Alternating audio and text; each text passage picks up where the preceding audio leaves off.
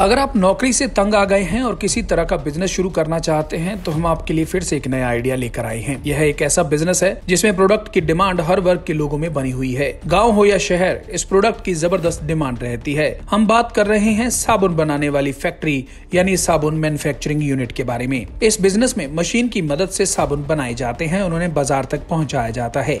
हालाँकि कई लोग हैंडमेड साबुन बनाकर भी बाज़ार में बेचते हैं।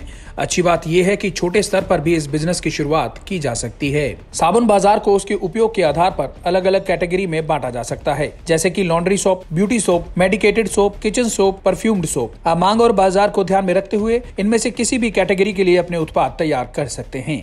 आज के समय में साबुन की डिमांड छोटे शहरों से लेकर बड़े शहरों, कस्बों और गाँव में होती है। ऐसे में साबुन बनाने का बिज़नेस आपके लिए फ़ायदेमंद हो सकता है। बहुत कम पैसों में आप साबुन की फैक्ट्री खोल सकते हैं। इस बिज़नेस को शुरू करने के लिए मोदी सरकार की मुद्रा स्कीम के तहत आपको अस्सी फ़ीसदी लोन मिल सकता है। मुद्रा स्कीम के तहत लोन लेने के कई फ़ायदे हैं। केंद्र सरकार की मुद्रा स्कीम प्रोजेक्ट प्रोफ़ाइल के अनुसार आप एक साल में करीबन चार लाख किलो का कुल प्रोडक्शन कर सकेंगे। इसकी कुल वैल्यू करीबन सैतालीस लाख रूपए होगी। कारोबार में सभी तरह के खर्च और अन्य देनदारियों के बाद आपको छह लाख रूपए, यानी हर महीने पचास हज़ार रूपए का शुद्ध मुनाफा होगा। साबुन बनाने की यूनिट लगाने के लिए आपको कुल साढ़े सात सौ वर्ग फीट की ज़रूरत होती है।